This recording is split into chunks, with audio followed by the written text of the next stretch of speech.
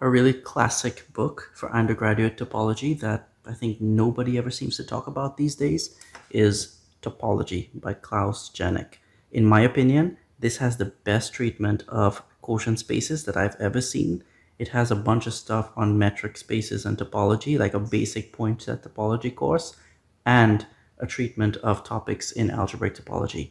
So you could probably find this in your library at your university, or you could find a cheap copy online. Get one. It's worth it. I'm sure you'll understand stuff that you might not get from other texts.